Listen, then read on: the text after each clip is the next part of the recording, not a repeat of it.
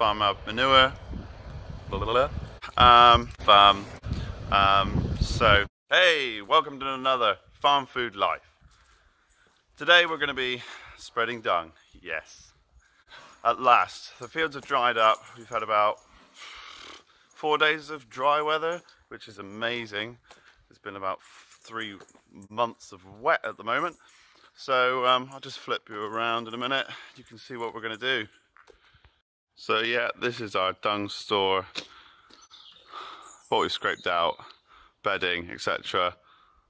Rolland, V2 140, 14 cubic meter. We're putting that on the tractor. Just trying to get some of this out, which has just been building up and building up. So yeah, that's today's job. Um, let's hitch up, let's bash it out. Come on.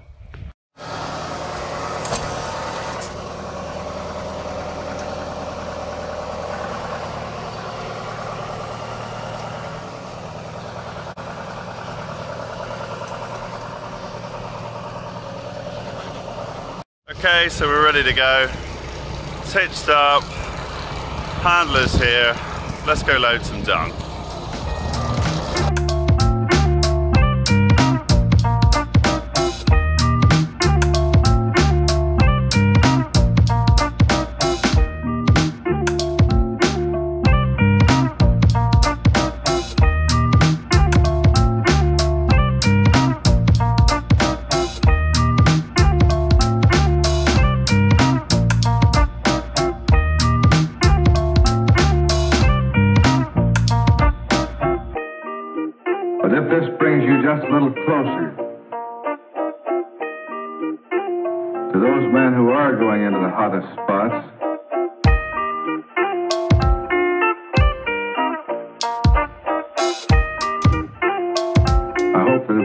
To do a better job.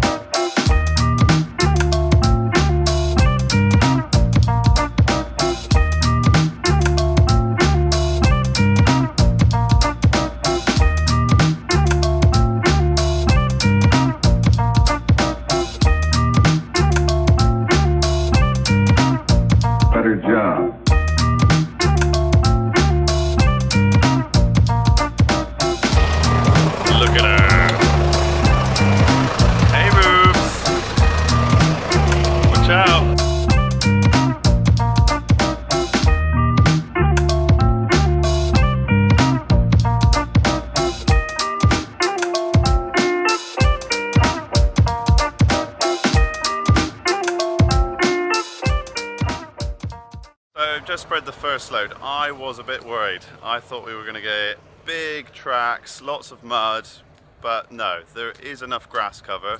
Probably a bit too much really to be doing this, ideally, but um, that grass cover is providing quite a bit of help for covering our wheelings and that. So we're not getting the mud, we're good to go. So yeah, this, or most of this, hopefully go out today, which would be great. Right, let's go.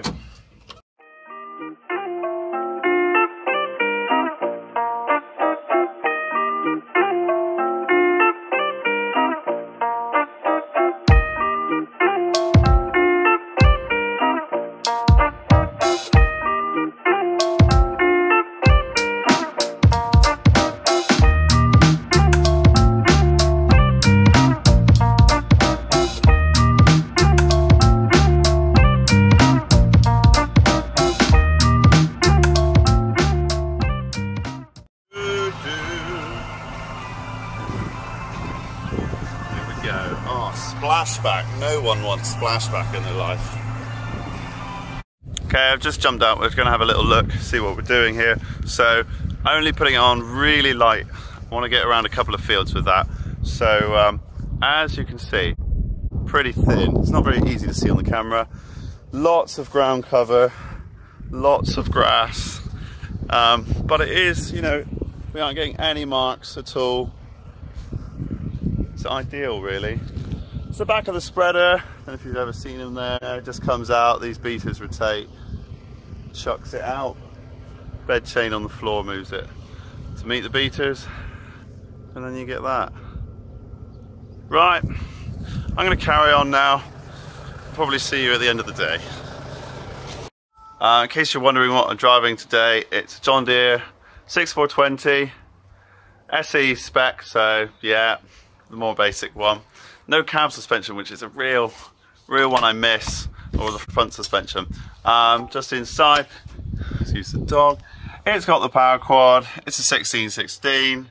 Um, yeah, we've had it from new, it's um, 2004 registered, and um, what's it done? 9,200 hours.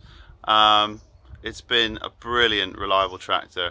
Um, I'd love to get another one actually to replace our other, the other tractor. But yeah, I can't recommend it enough really. Excuse the broken light, let's cover that one up.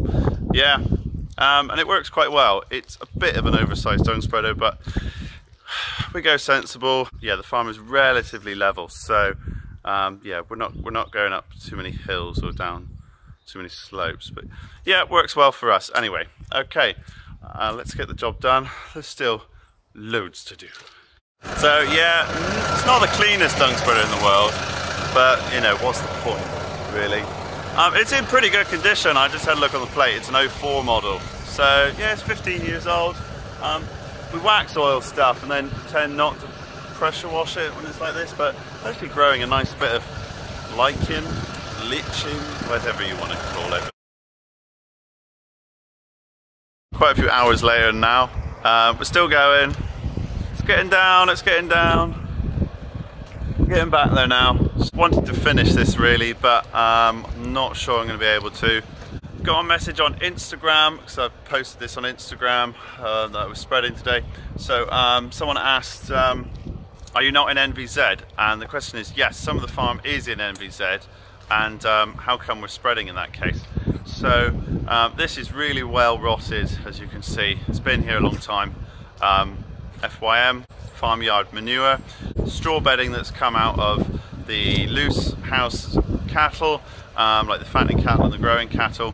It's got a low nitrogen content, under 30%, which means there is a small exemption in that case for organic manures that are under 30% nitrogen availability. Um, that's what this is.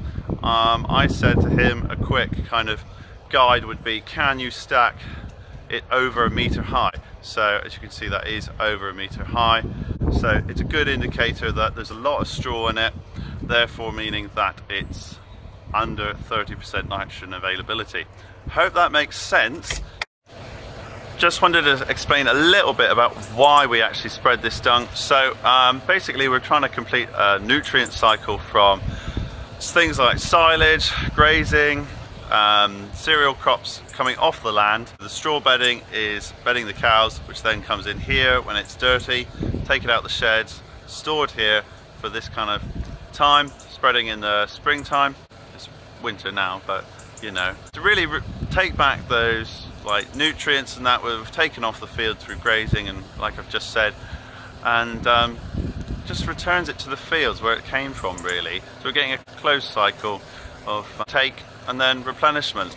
And um, I think that's probably the most sustainable use we're going to get of kind of the products on the farm and what the farm produces. So yeah that's really why we do it.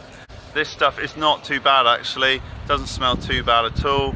Um, yeah, I'm sure the wife will tell me something different when I get in, but it's not, it's not like in your nose, it's not full of ammonia, it's actually not bad at all.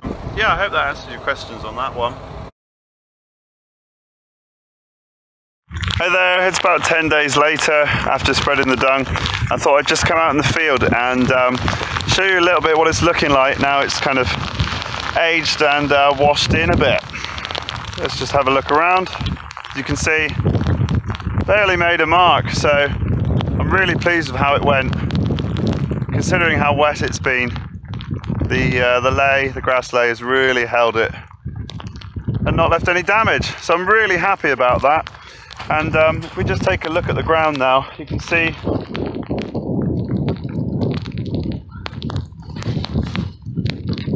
you know it's rotted away really well. There's a little bit of straw left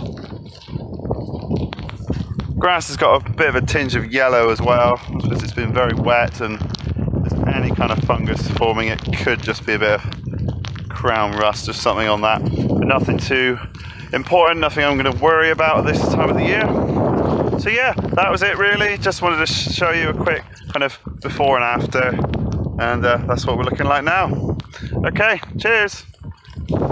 Just wanted to say thanks for watching. If you've enjoyed what you've seen, hit the like button, press the subscribe, and ring the bell and then you'll know when I'm releasing my next video and you can take a look at that as well. So thanks for watching and yeah, hope you enjoyed.